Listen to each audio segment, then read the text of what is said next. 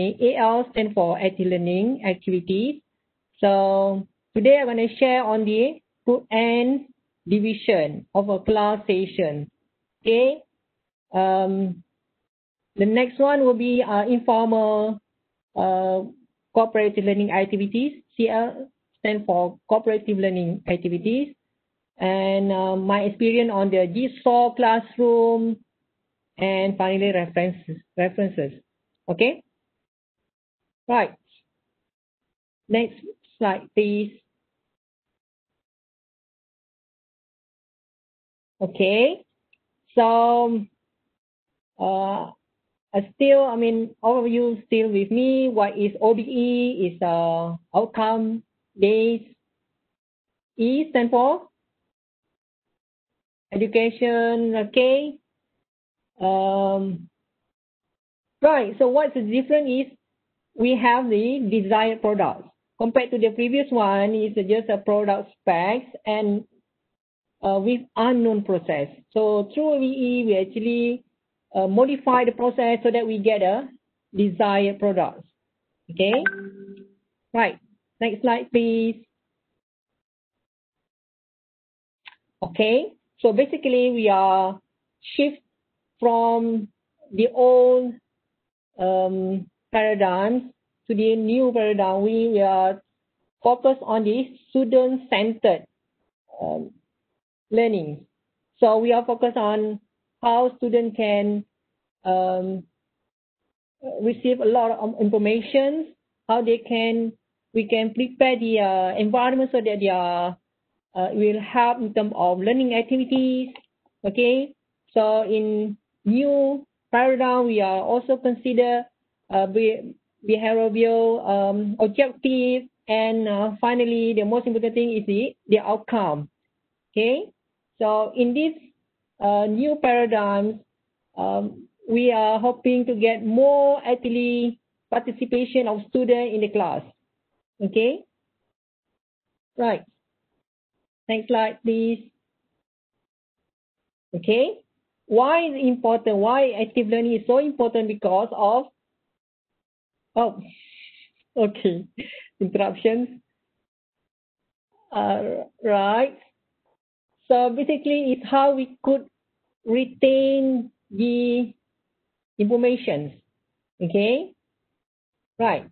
So uh, this slide showing the cone of uh, learning, where if students participate in the class, actively participate in the class, I mean they can retain more uh, knowledge, memories, okay, up to 90% if they do a lot of activities, okay, and um, uh, doing a dramatic presentation, okay, also doing the real thing. So they are uh, actually hands-on, more hands-on activities, okay. Right, next slide, please. Okay, so um, this is a whole range, okay, of the from uh, instructor-centered to the student-centered, okay. So the top one is a conventional uh, approach. The bottom one is a, a more student-centered learning, okay, from the learn, uh, active learnings, and then we have collaborative, and then uh, the third one is a cooperative, and uh, finally the most uh, favorable uh, in a, a student-centered uh, category is problem-based learning. But for today, going to touch a bit on the cooperative learning. Okay. Thank you. Next. Oh my God. okay. So, uh, for introduction, what is uh, cooperative learning? I'm sure you heard about the word cooperative learning. Okay. Um, it's just uh, to refresh our memory what, what is uh, cooperative learning or CL. So there are five principles of cooperative learning. Okay, number one is a uh, positive interdependence. Number two is uh, individual accountability. Number three is face-to-face -face promotive interaction.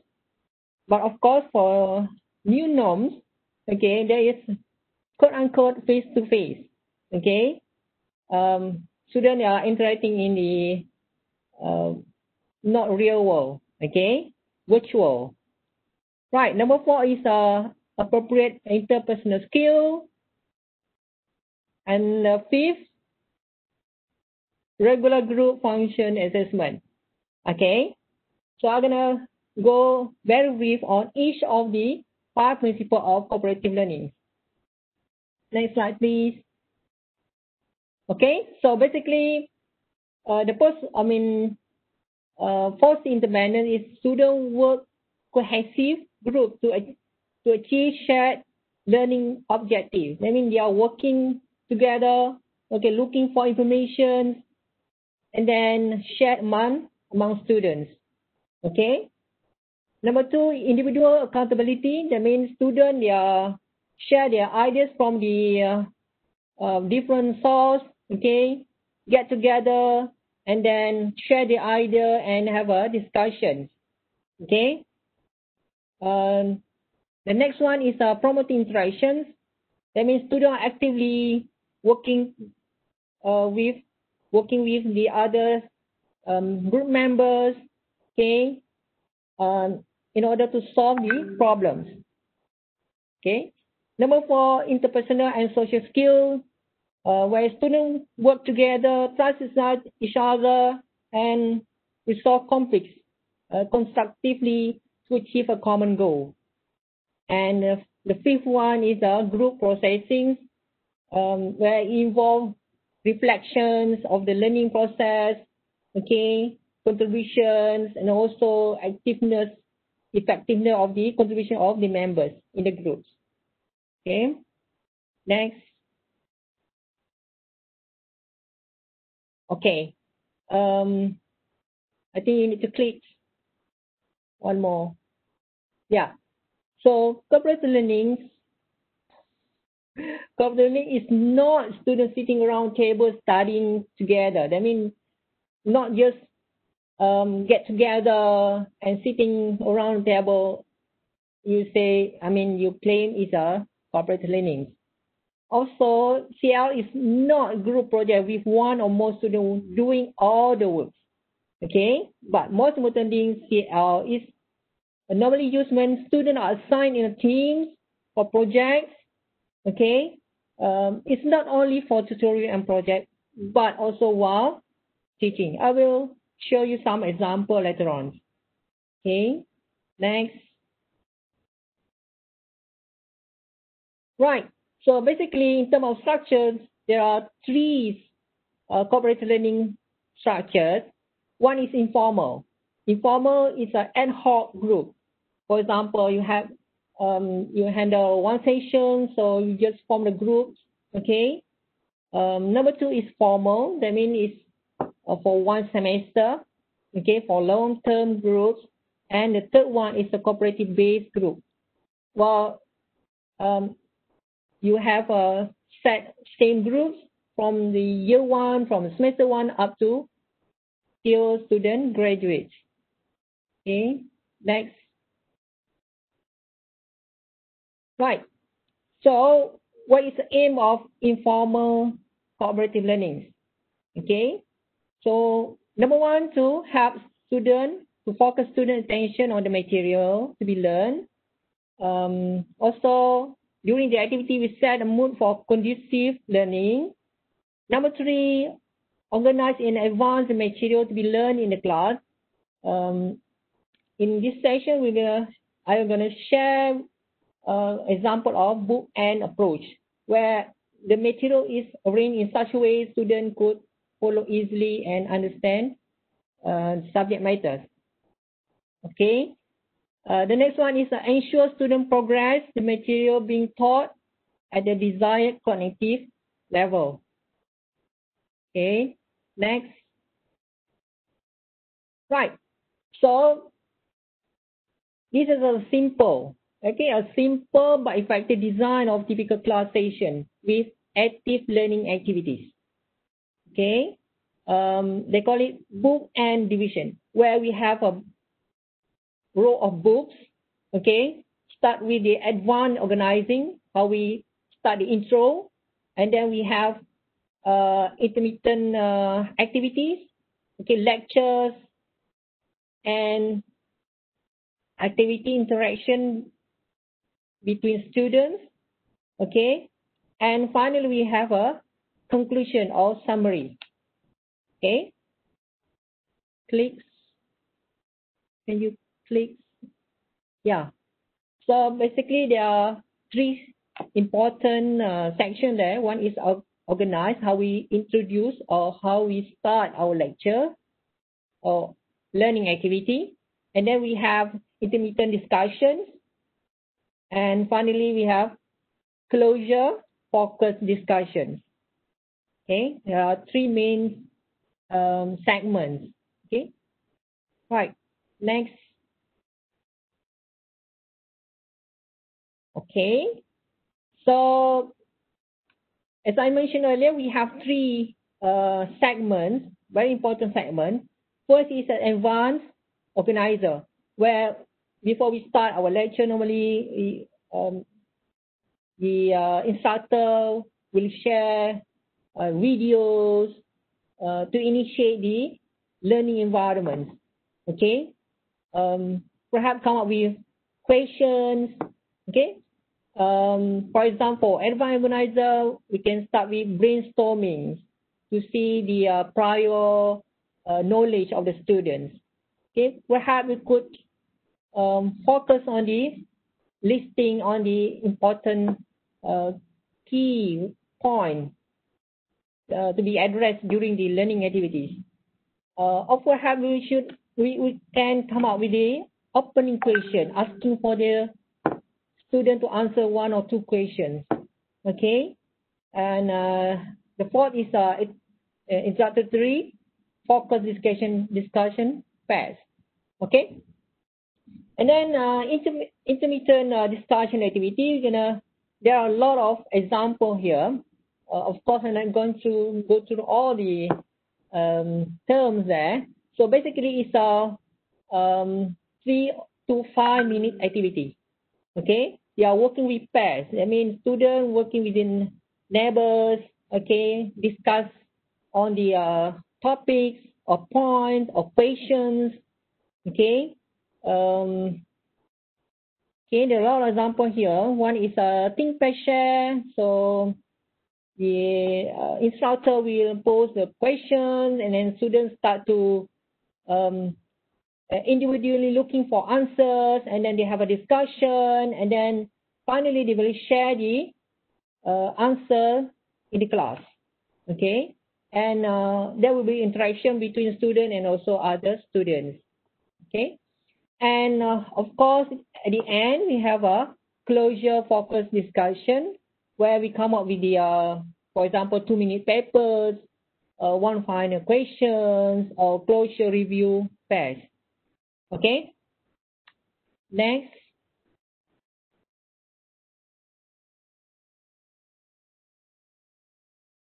Right, this is a, a an easy example.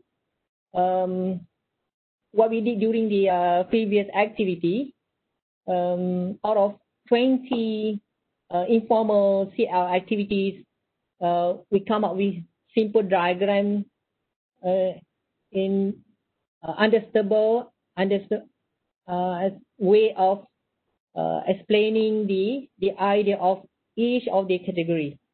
Okay, here's an example. Okay, next one. Okay, so this also showing the um, how the session is conducted, like a brainstorming, team share in a simple diagrams is the cartoon uh, diagram. Um, basically, it and it will stimulate or promote the interaction between the students. Okay. Right. Next. Okay, this is uh, what I did during the uh, previous um, class or course. Okay, this is uh, basic genetics. So this subject actually I already break the uh, uh, this lecture into several sections. Okay, start with the uh, welcoming and uh, Next slide, please. Okay, this is an example. The course CLO1, okay, course learning outcome number one. So this is just example. Okay, this is what we're going to achieve. Right, and then since this is our first class, so I'll start with the start the class with the ice breakings. Okay, ice breakings. Um, so make sure they are um, uh, they feel comfortable with other group members. Okay, next, please.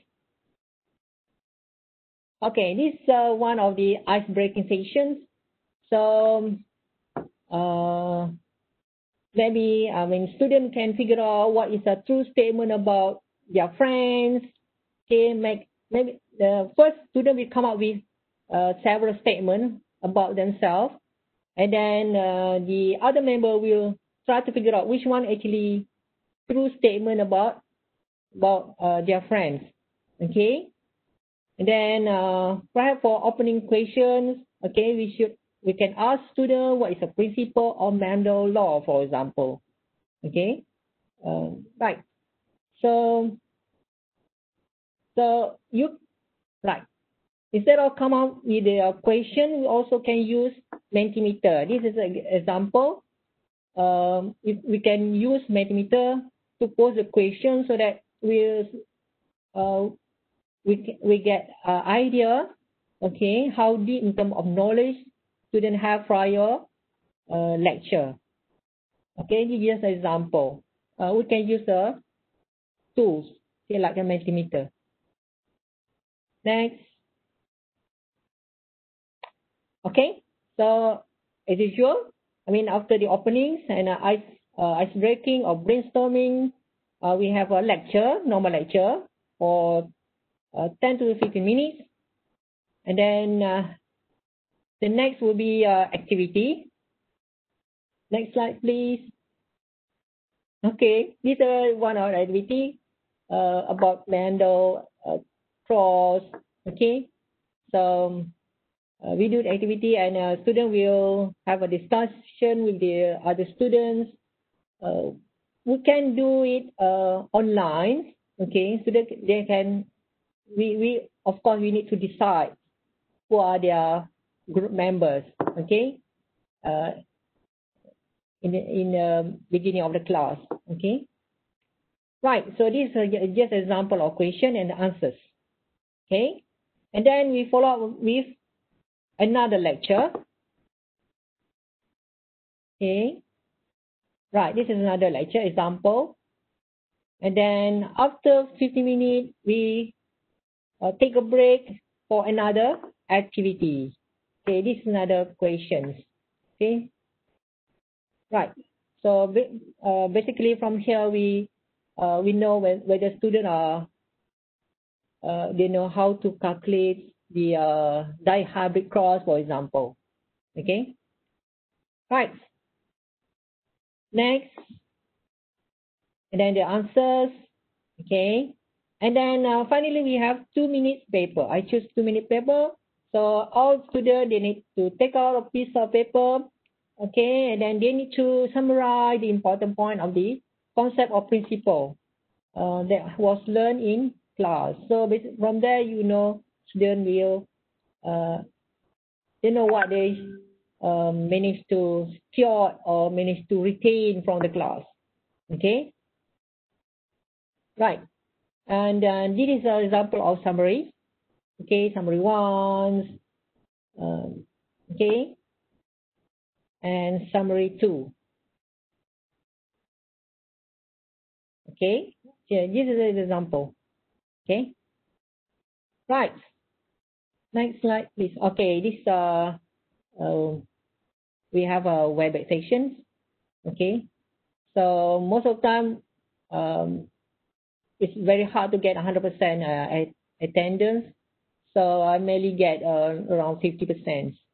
Okay, right. But I did share the the um, uh, videos with students.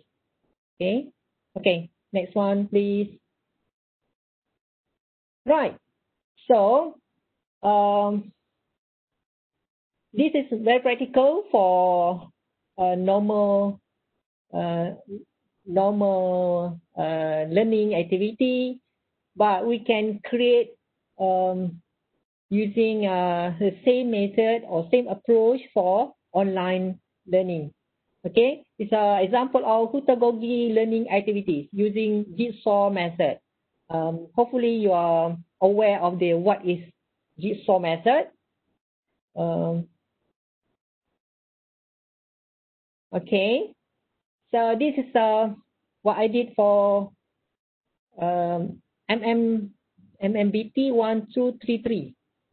Okay, so so uh, from here, what I've learned is that uh, it's good to to uh, give a like a task to students to look for the information. Then uh, the learning process will be uh, more uh, smooth.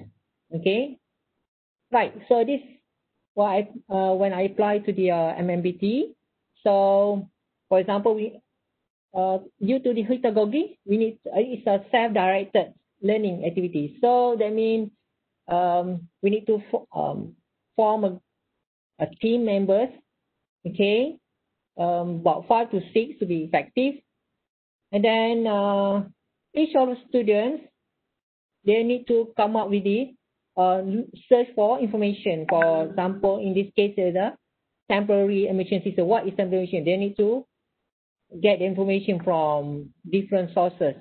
Uh, for example, internet. Okay, internet is one of the source. Right, or papers. Okay, related papers. Um, okay. Right, and then uh, uh, in this activity, because it's a jigsaw puzzle, we need to, uh, in if there are six members in each group, so all the group, okay, all the group members need to be assigned one title, for example. So first, um, student assigned with Rita. Next student, Twin Far, for example. Okay. So altogether, if they form a home group, okay, home groups with individual tasks. Okay. Right. And then uh, next, next slide, please. Okay, so all the um, that uh, puzzle represent the students. So then they will form new expert groups. Okay, together with other groups, they will form expert group one, two, up to six, for example. Okay, and they have a discussion in the expert groups. Okay, after five minutes, uh, we will return to the home groups and share the the knowledge, okay, knowledge or um, digest information from expert groups, okay. Right. Next. Right, this is uh, just a comparison between traditional classroom and jigsaw classroom. Okay, so jigsaw puzzle um, uh, favor the student uh, discussion and also interaction. Okay, compared to the traditional classroom where the teacher is a main the uh, important role or sole role in this uh, traditional classroom. Okay, compared to the jigsaw uh, classroom where students need to make an effort looking for uh, information. Okay, right. Next. Okay, this uh, example of the uh, activities, uh, home groups and then uh, expert groups. Um, can you click on the, yeah, there's a arrow there. Okay. And then finally, they need to uh, return to the uh, home groups and then uh, start to share the information or the knowledge uh, from all individual uh, expert groups. Okay. Right. So this is a uh, um, how I mean, there is a question on how they're going to um, share the outcome of the uh, the activities. Um, they need to post in the Padlet. Okay, I'm not so sure whether if uh, Dr. Izzati, if you click on the uh, Padlet, can you? Yeah, this is a temporary immersion system where we use Padlet to present all the outcome of the learning activities. Okay, from each group, they will share uh, pro and cons about each individual system. Okay, right. Next slide. Okay, uh, this is a reference um, uh, on the uh, implementation of student-centered learning, part one. Uh, okay, so engaging, uh, so we have another session where it's part two. So for this session, I will share only the part one. Okay, right. Thank you for your participation. Okay, and uh, I welcome any questions from floor. All right, so thank you, Dr. Azman. Um, so uh, I will open uh, Q&A session, but I think Dr. Huza asked a question just now. Uh, Dr. Huza nak cakap ke? So, kalau Dr. Huza nak cakap, saya unmute kan.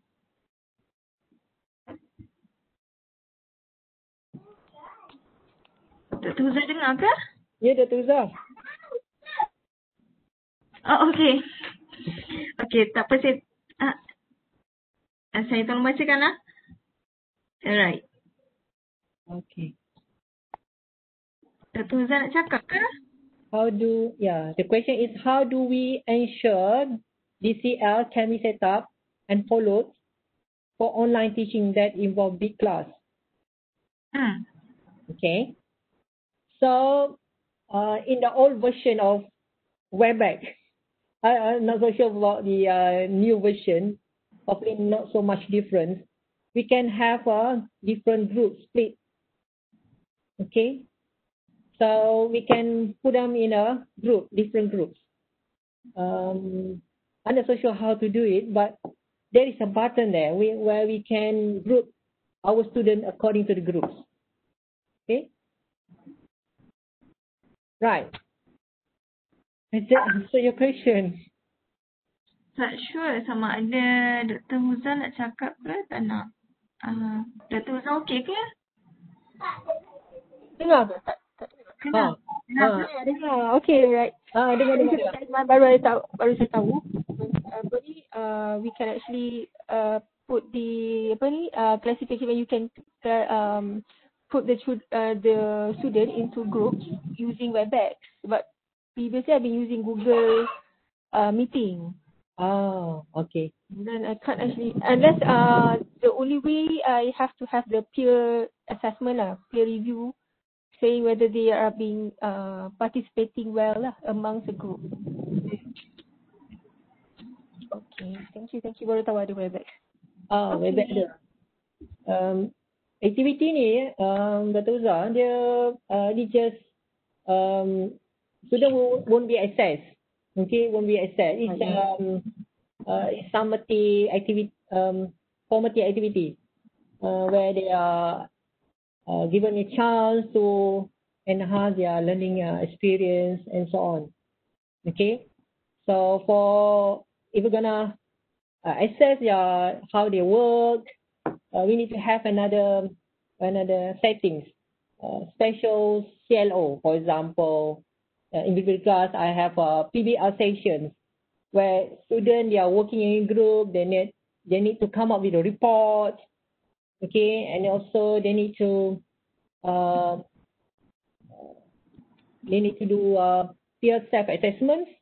So from there we can uh, predict how good is uh, the work, um, how they work in a group, okay, and then uh, finally we can have a auto rating uh, um, autorating formula where we will autorate the marks.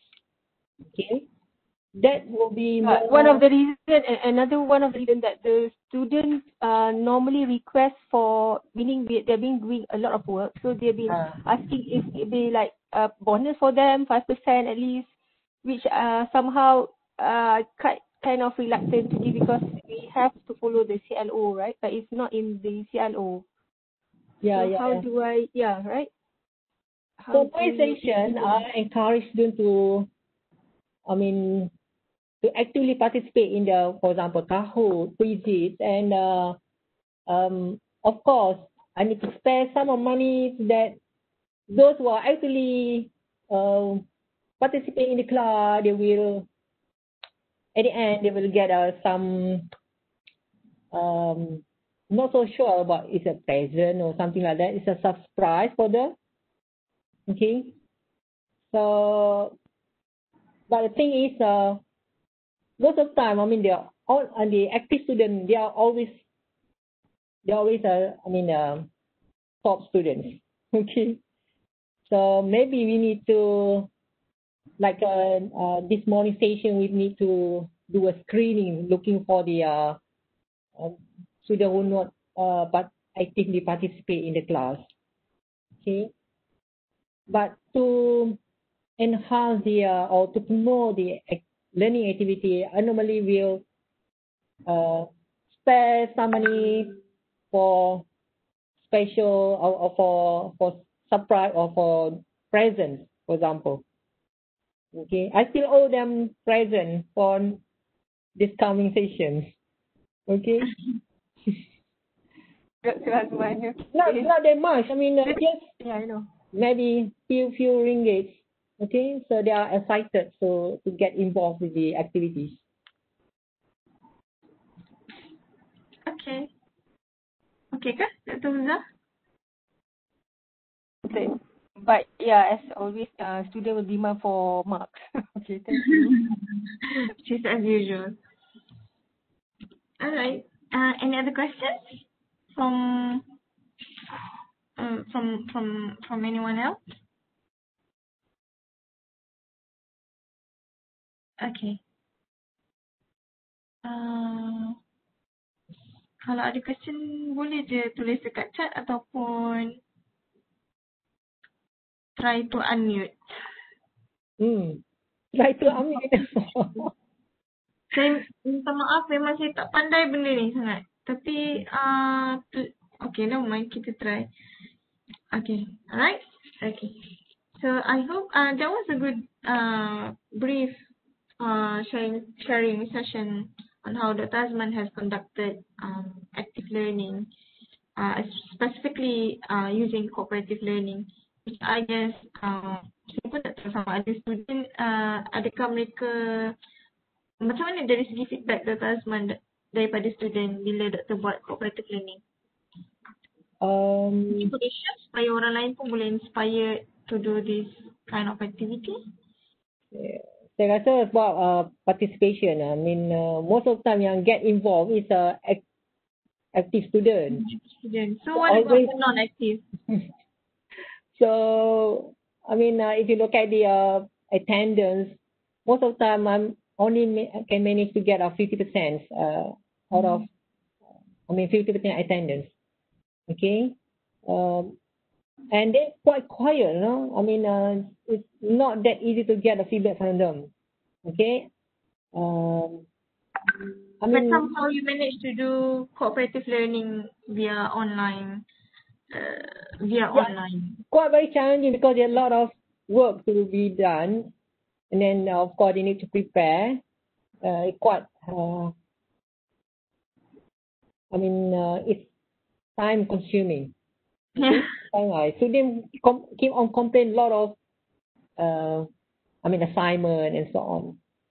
Okay, but we are here to help students to learn so that they are uh, at any stage or any uh, course they are they are there ready to learn okay Of course. They have to learn in any way. All right. Thank you so much, Dr. Azman. Uh, uh, we'll be moving on um, to next session if there is no other questions from the audience. All right. Okay. Thank you so much, Dr. Azman. Terima kasih. Assalamualaikum. Salam. So for the uh, mm, for the participants, uh, everyone definitely is welcome to listen to Dr. Saliha because um, we'll move on to Dr. Saliha's session very shortly.